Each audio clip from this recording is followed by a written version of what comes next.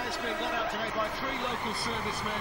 And the standard bearer there, Ian Mackey, along with Joe McGowan and Butch Gilbert of the Liverpool Pals Association. All part of Remembrance Sunday commemorations here. 2014 marking the centenary of the start of the conflict in World War One. You can see the players have the poppy emblem on the shirts, all of which will be signed by the players. No let up today. Well, it's a fixture with a bit